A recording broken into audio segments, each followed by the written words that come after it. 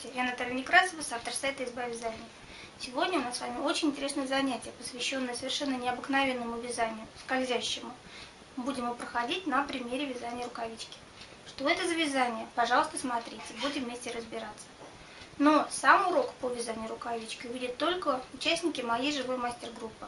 Чтобы в нее попасть, заходите на сайт «Изба вязания», подписывайтесь на рассылку и попадайте в мастер-группу. Также во время просмотра нашего занятия, пожалуйста, нажимайте кнопочку «Нравится» и делитесь с друзьями.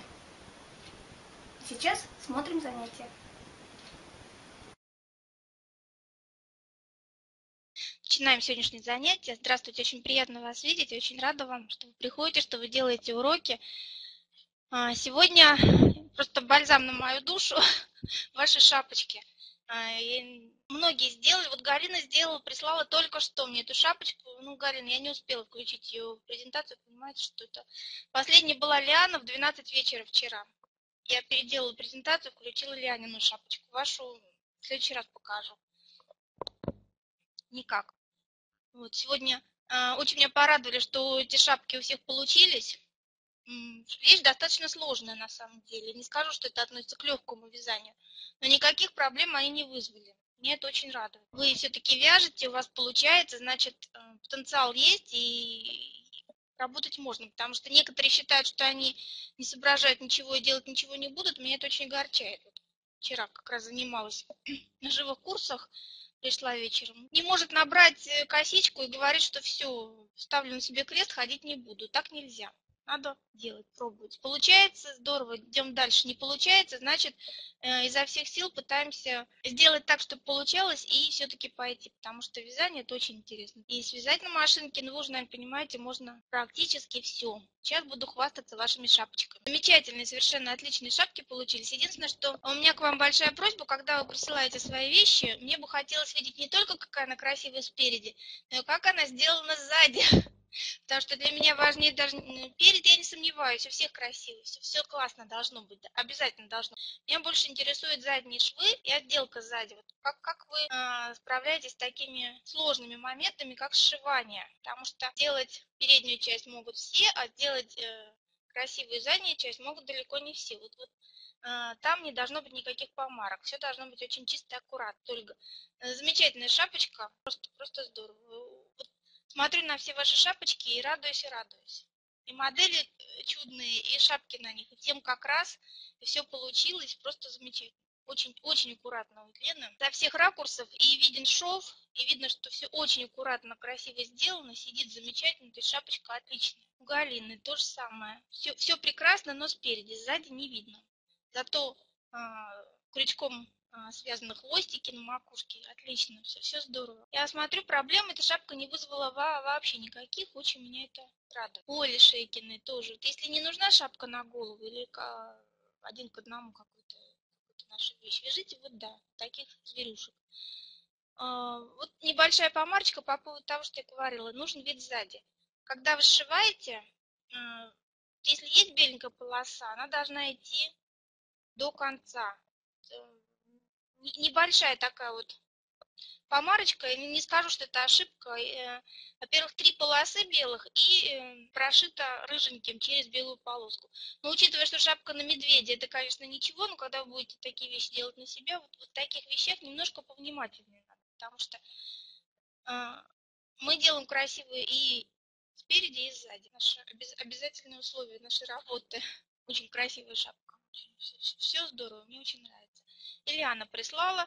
Э, вот единственная фотография вот так выглядит двойная с подгибом внутрь. Казалось, что тяжело дался шов, но я думаю, что это было потому, что шапка черная. Черная на самом деле сшивать очень сложно, его не видно.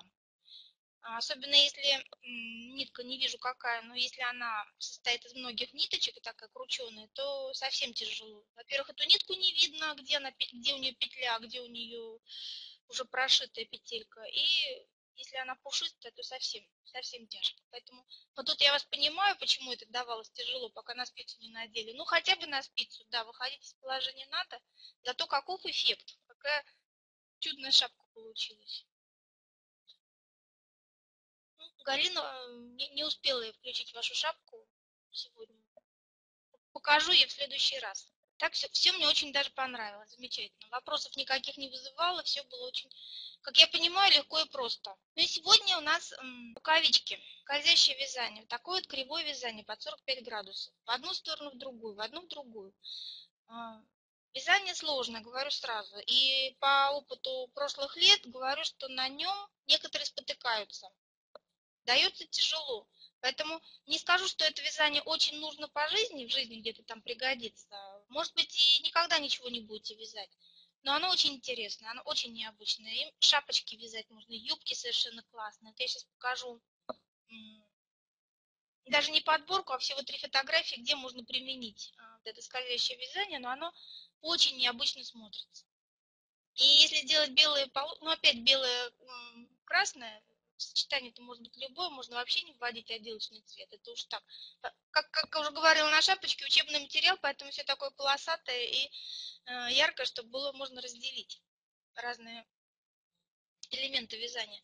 Эм, если делать отделочные полоски пошире, получаются волны, вообще непонятно, как, как уходит. На самом деле есть имитация вот этого скольжения.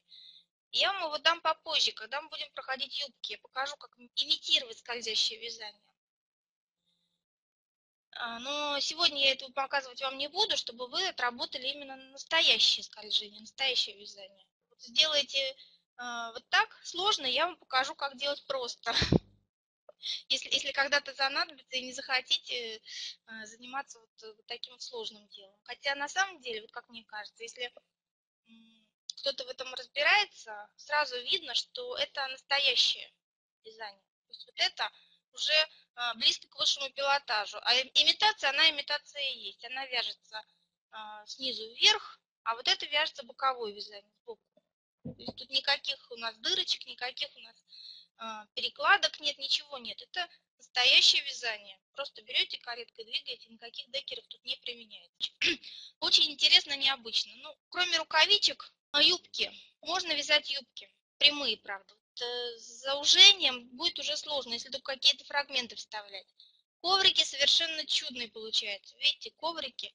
Палантин можно такой связать, потому что сзади оно тоже смотрится интересно. Наши изнаночные петли, они тоже уходят в бок.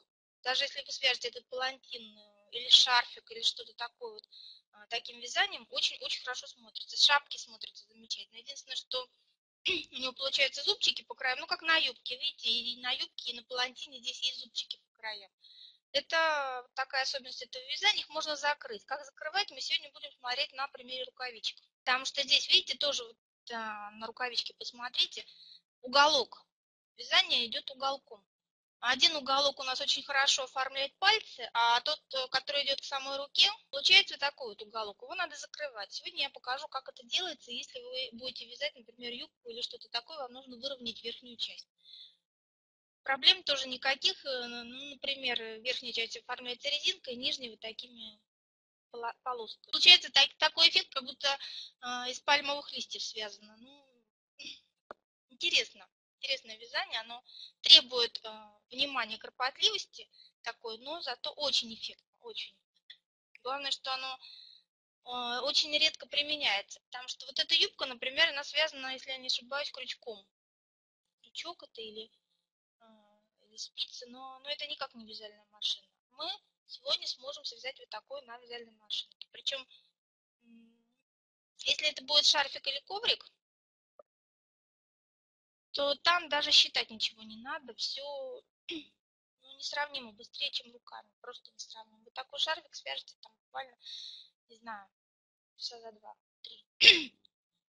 Поскольку урок у нас опять сегодня очень длинный, вязать рукавичку будем больше часа, Сейчас я вам его покажу. Посмотрите, как это делается. И так, а по шапочке давайте. Мне, мне не писали, но может у кого-то что-то не получалось, какие-то вопросы были, что-то что-то э, трудности вызвало. Давайте разберем сейчас, пока все, все здесь. Думаю, что действительно все было понятно. На всякий случай спрашиваю, потому что некоторые скромничают. Вот не получается, сидит и все, и прячется где-нибудь, как, как, как, как говорят, в кустах сижу и боюсь высунуться. Не бойтесь, Обязательно спрашивайте, будем разбирать. Понятно должно быть все хорошо, когда понятно, и очень рада именно, именно этого и добиваемся в наших Ну, как рукавички. Все, все было понятно, пока смотрели. Потому что на самом деле вязание очень сложно. И э, сложности в этих рукавичках возникают э, при расчетах. Не, не всегда получается, не у всех получается, особенно те, кто первый раз делает, э, посчитать правильно. Поэтому здесь очень важно сделать точный расчет. Вот вы вязали шапочки, попробуйте связать э, из этой же пряжи по тому же расчету, потому что шапочка улеглась хорошо, значит расчет верный берете этот же расчет, эту же пряжу и попробуйте связать, э, ну, если не нужны такие на себя, хотя бы маленькие рукавички на ребенка. А. Очень интересное вязание, набивает руку просто сказочно. После него страх перед машинкой совсем, совсем растворяется в небытие.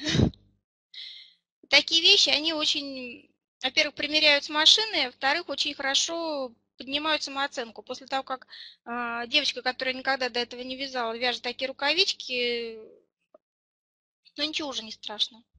Поэтому э, очень рекомендую провязать. Тем более вы уже такие шапки вяжете, вам уже э, тем более не страшно. Пробуйте обязательно. И э, Хочу напомнить, что у нас э, сегодня был последний урок нашего второго курса. Вяжите рукавички, присылайте Светлане. Ну, шапка, кто вязал шапку, пойдет за зачет э, этого курса на скидку. А кто шапку не вязал, вяжите рукавички. То есть, э, смотрите, третий курс у нас перчатки. Интересный вариант, покажу, как их вязать береты поперечные по спирали, два беретика свяжем, тоже, тоже немножко необычный берет покажу. И выкройки. Две выкройки и два вязания у нас будет. В воротниках все спотыкаются, цельновязанные, вот эти цельновязанные воротники, они очень людей пугают. Я покажу, как их э, выкраивать.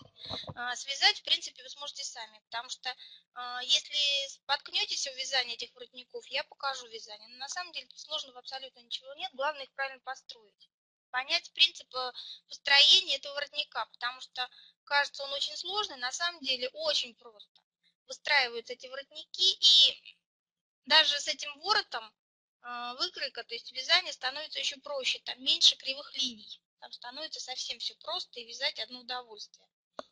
Вот и юбки. Юбки очень многие просили, потому что если фигура ну, простая, с минимальной разницей между бедрами и талией, то там, в принципе, можно и по прямой вязать. А вот если э, женские изгибы присутствуют, ну, такую уже не свяжешь. На талии будет огромный мешок. Поэтому нужно это все убирать. Мы будем строить чертеж юбки, чтобы он сидел идеально на нашем теле.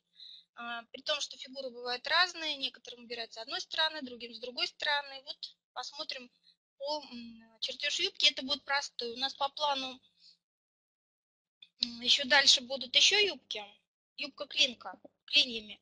А, клинку, это будет уже следующий курс, будет эм, э, с вариантами ГАД, с вариантами разных отделок, то есть там, там совсем все другое уже пойдет. Смотрите, здесь юбка пока будет простая. Еще будет юбка паркет, но это потом совсем уже ближе к весне.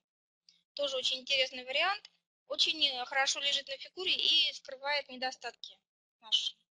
Мы должны быть красивыми со всех сторон. Вот будем вязать три такие юбки в дальнейшем. И сейчас а, вяжем простую юбку.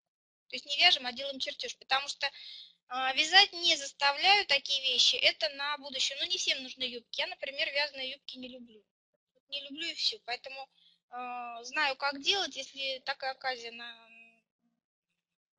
наступит, то я ее свяжу но себе вот такую вещь, например, мне не нужно. Поэтому вот кому надо, пожалуйста, вяжите. Я буду очень рада, если вы сделаете, пришлете э, то, что вы делаете. Кстати, когда что-то вяжете, присылайте, пожалуйста. Мне очень интересно посмотреть на ваши успехи. Вяжете ли вы хоть что-нибудь еще, кроме наших уроков.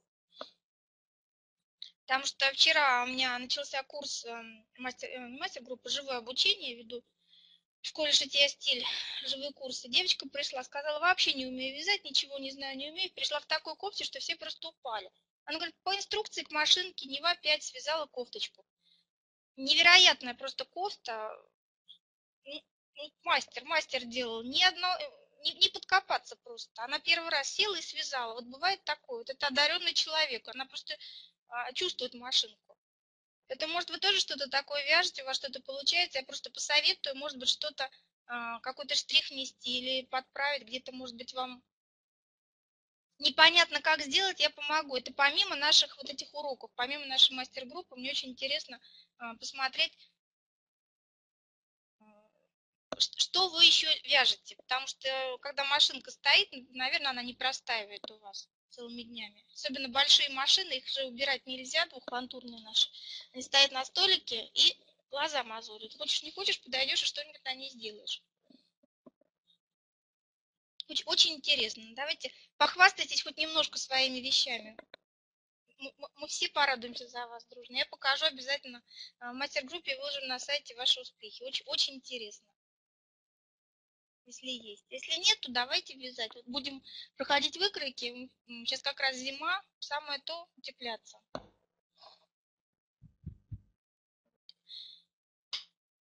Ну, напоминание по поводу того, что третий курс у нас на следующей неделе я вам еще пришлю.